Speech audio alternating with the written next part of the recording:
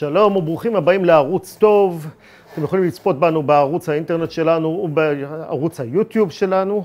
נמצא איתנו היום עורך דין יאיר רביבו, ראש עיריית לוד, אבל קודם כל פרסומות. התוכנית היא בחסות חברת באמונה, שמציעה לכם אפיק השקעה אטרקטיבי במסלול משקיעים באמונה, השקעה בנדל"ן, מבלי לרכוש דירה.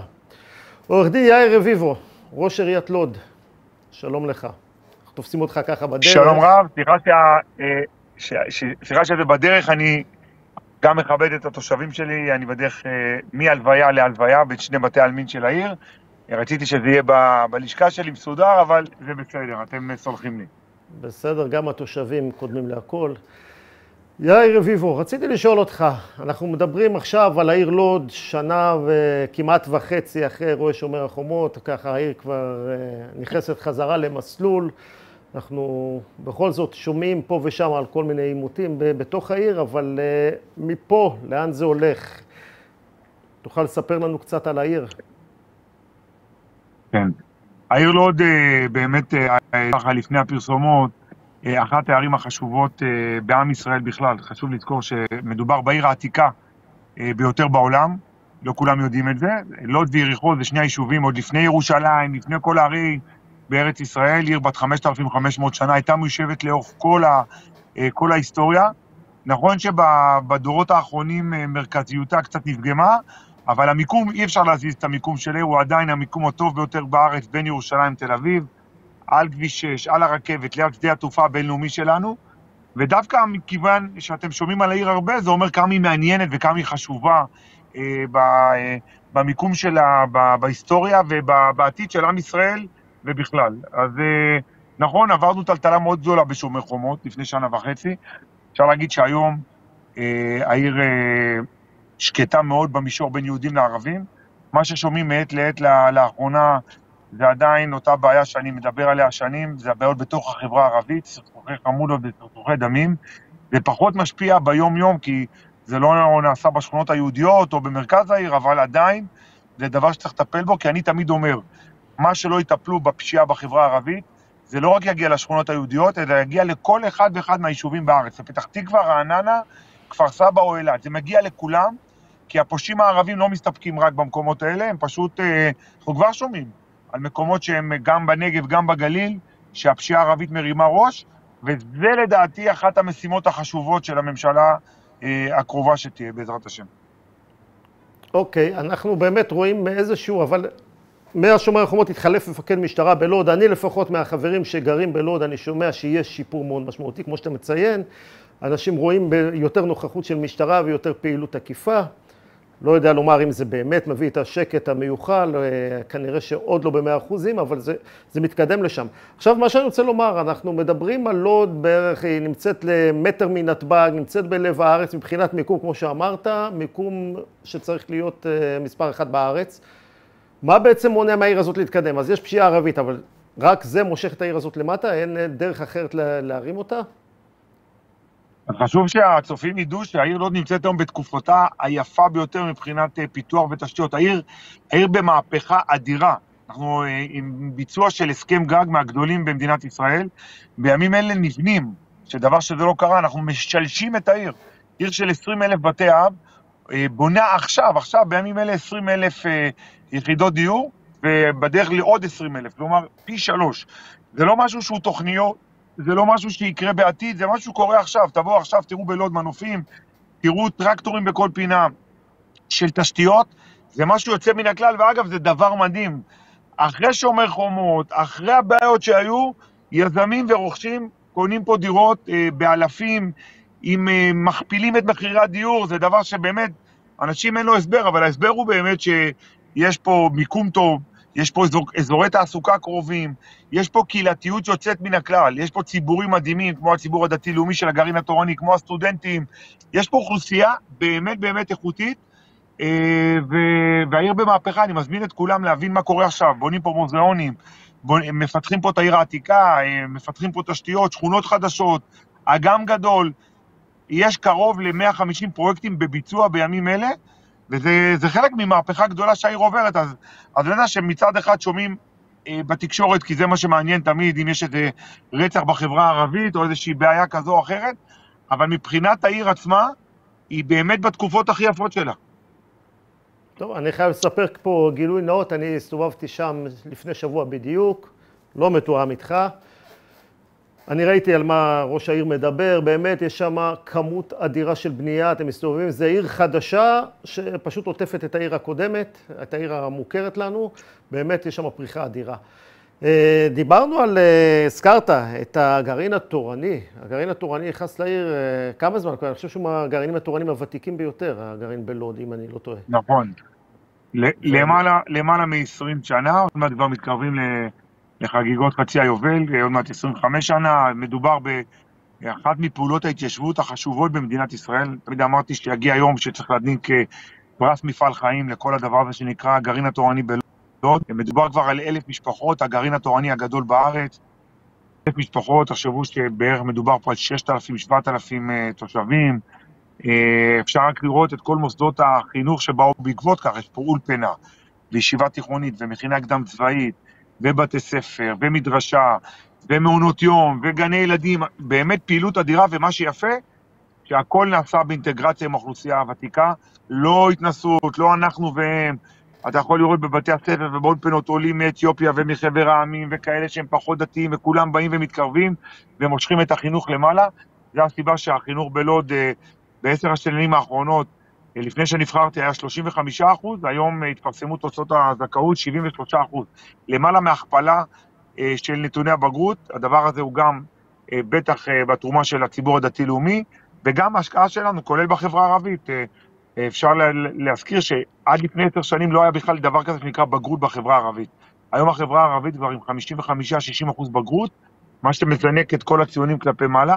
ואני תמיד אומר, אם נפתור את הבעיה של הפשיעה בחברה הערבית, שהיא בעיה לאומית, היא מתרכזת ב, בכל הערים המעורבות או היישובים הערביים, אבל אם נפתור אותה ברמה הלאומית, ויקשיבו למה שאני אומר, אני, אין, אין חכם כבעל ניסיון, אני בתור אחד שמתעסק עם הנושא הזה כבר עשר שנים, יום-יום, אה, במשך 10-15 שעות כל יום רק על הנושא הזה, אז אני באמת אחד האנשים בכל הצניעות שמנוסה ויודע מה צריך לעשות ומה לפתור. ואני אומר, אם יחוקקו את החוקים הנכונים ויכניסו את הפושעים לשנים רבות לכלא וישלבו את השב"כ אה, באופן, אה, אה, באופן אה, אקטיבי, אז אני חושב שאם מדינת ישראל יכולה מול אויביה הגדולים, אם זה סוריה ואיראן וכל דבר אחר והחיזבאללה, היא ממש יכולה מול ארגוני הפשיעה בחברה הערבית לפרק אותם תוך מספר חודשים. זה רק, זה רק עניין של החלטה. עוד לא החליטו. ברגע שיחליטו, מדינת ישראל החזקה מפרקת את הפשיעה הערבית, ואני אומר לכם שהעיר לוד, שהיא כבר עכשיו עיר טובה ומתפתחת, פשוט אה, תסלק מעליה את הדבר הנורא הזה שנקרא רציחות בחברה הערבית, והדבר הזה ירים את העיר כלפי מעלה. טוב, אין לי להסכים, זה מן הסתם גם בעיה יותר של החברה הערבית, זה מציק לחברה הערבית יותר מלכל אחד אחר, ואגב, אנחנו שומעים את זה מכל הרעיונות שאנחנו מקיימים פה, עם אה, תושבים מהנגב, היה פה דובר המשטרה של החברה הערבית, אנחנו מבינים מכולם, כולם מפנים את האצבע לאותו כיוון, ועכשיו אתה בא רק ומחזק פה את התחושה הזאת. אה, יאיר רביבו, אני הייתי רוצה לשאול אותך שאלה אחרת, לאו דווקא על לוד. באפיק הארצי, הציבורי, אנחנו הולכים לבחירות, אנחנו נמצאים חודש וקצת לפני בחירות. איך אנחנו רואים את זה מתקדם? אתה מייצג את הליכוד, אתה נבחר מטעם הליכוד בעיר לוד, תהיה לנו ממשלת ליכוד, או שאנחנו עדיין תלויים באיילת שקד ודומיה?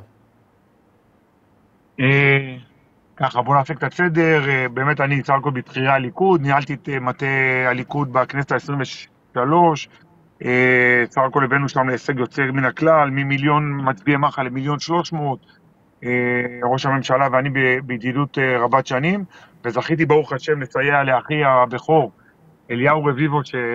שנבחר במחוז השפלה הגדול ביותר בליכוד, והוא יכהן בעזרת השם כחבר כנסת, זה מקום, המקום ה-19, מקום מובטח כבר, אבל אנחנו מצפים כמובן יותר מ-19 מנדטים, רוצים להגיע חזרה לכיוון ה-36 מנדטים, זה היעד. התחושה היא, וקיבלנו עזרה בסוף שבוע אה, ממחנה השמאל, אה, שהיה פיצול, אה, ב, אה, לא השכילו, הם לא השכילו להתאחד, והרשימה הערבית התפצלה, הדבר הזה כבר נתן את אותותיו בסקרים של סוף שבוע, אה, והתחושה שלי שהפעם הולכים לעשות את זה. אני יכול להגיד כראש עיר, יש הבדל שמיים וארץ, מה קורה כשהממשלה היא ממשלת ימין, ש... או ליכוד שלנו, שאתה יכול באמת להרים טלפון לכל שר ולסייע, כאשר, או כאשר מדובר בממשלה שיש לך פחות, אה, אה, פחות עניינים ויכולת של קשר אישי, זה אחד הדברים שאני תמיד אומר לתושבים, אה, למה יש לנו יתרון בזה שאנחנו בוחרים ליכוד, הממשלה הזאת הקודמת של הליכוד עזרה עם הסכם גג גדול וכולי, ודוגמה קטנה, שאני מנסה שרת התחבורה, מרב מיכאלי כבר שנה, מאז שהיא נבחרה, שנה וחצי עוד מעט, להיפגש איתה, וזה מאוד קשה. וסביר להניח שאם הייתי ראש עיר של רמת השרון או גבעתיים, ששם זה הקהל שלה, אז, אז אלה כללי המשחק, לא צריך להתעצבן, זה כללי המשחק. כשהיה ישראל כץ, הוא היה מגיע לפה שלוש פעמים בשנה, אה, והיום השרת תחבורה לא מגיעה, אז זה פעם אחת. אז, אז מה שאנחנו צריכים פה להזכיר ש... לכולם, רק אני, אני מבקש, תושבי לוד, שימו לב, לצאת ולהצביע, זה תלוי באחוזי ההצבעה. יש הרבה יותר אנשי ימין במדינה הזאת, אם לא תצאו להצביע, אנחנו נפסיד רק כי התעצלנו. הפעם לצאת להצביע זה מה שהכי חשוב, זה המסר, הנה שמעתם את זה מראש העיר שלכם.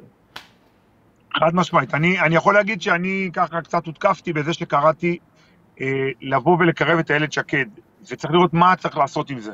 היום באמת הסיכויים שלה לעבור הם לא גדולים, צריך לשבת, לקרוא לה, להגיד לה תפרשי, לתת לה איזשהו תפקיד של שגריר ישראל באו"ם, אני לא יודע מה, אבל ככה צריך, מי שחושב על טובת המדינה, אז פעם אחת אני קורא לנו, בליכוד, בימין, לשבת איתה, פעם שנייה אני קורא לה לגלות אחריות, ואם היא מגיעה למסקנה תוך שבועיים מהיום, אחרי החיבור עם הבית היהודי, שהיא לא מצליחה לעבור, אז מצב, אין מצב שאנחנו עוד פעם הולכים אה, לממשלת שמאל בגלל, אה, בגלל המעבר אחוז החסימה. אני מזכיר לכולנו שסבב א' היה בגלל ההרפתקה של בנט אה, לרוץ עם הימין החדש, וכן, בנט ושקד, יותר בנט רצה את זה, אבל היא הלכה אחריו, וה-1,400 קולות שהיו חסרים בסבב א', יכול להיות שמאז היינו עכשיו עם ממשלה יציבה של 63 מנדטים, ואיך אומרים, הכל היסטוריה. עכשיו צריך, כמו שראש הממשלה לשעבר נתניהו השכיל לאחד את הציבור החרדי ואת הציבור החרד"לי. עכשיו נשארה משימה, שתי משימות. אחת, לצאת ולהצביע, כל מי, ש... כל מי שימין, כל מי, ש... כל מי כן. שחשוב לו העניין הזה, לא לשבת בבית. והדבר השני, לא, לא, לא לאבד קולות. כרגע נשארה רק הסוגיה הזאת של איילת שקד. ואני אומר, אני רוצה לפרגן להם, אם בשבועיים הקרובים הם מצליחים להחזיר הביתה את כל הבית היהודי המסורתי, את המפד"ל של פעם, ופתאום נראה בסקרים ארבעה-חמישה מנדטים, אני אומר, חבר'ה, לתת להם את ההזדמנות הזאת. כי סך הכל אנחנו רואים שכשהם עוברים, אז ה-63 מנדטים אה, נמצא בהישג יד, 59 ועוד ארבעה. אבל אם רואים בתוך שבועיים שהם לא עוברים, פשוט צריך לגלות אחריות. אני מוכן להיות זה שבאמצע יישב, כי אני בקשר טוב גם עם ראש הממשלה וגם יוסי ברודני ואיילת שקד. רוצה להגיד שבסך הכל איילת שקד הייתה שרת פנים טובה. תשאלו את כל ראשי הערים, יגידו לכם ש... אשרי המאמין, אני כפעיל ימין רוצה לומר לך, שבענו, מעדיפים לא לראות אותה, אבל זה כבר נושא לדיון אחר. יאיר רביבו, ראש עיריית לוד, תודה רבה. אני רק רוצה לאחל שנה טובה להגיד לכם יישר כוח על קבלת הפנים, למסור דש לענת טוב, אחת האנשים היקרות שהיא זאת שהזמינה אותי, ו- ויש לה פה משפחה שורשית בעיר לוד, ומהוותיקות משפחת סער בן סעדון, משפחה שורשית, ואנחנו נשמח שתלוו ות, ו- ותלוו את העיר לוד בהתפתחות שלה, ושרק דברים טובים יהיו על העיר הזאת. תודה ושנה טובה. מוזמנים לצפות בנו בערוץ היוטיוב של ערוץ טוב ובאתר האינטרנט שלנו. תודה רבה. Thank you.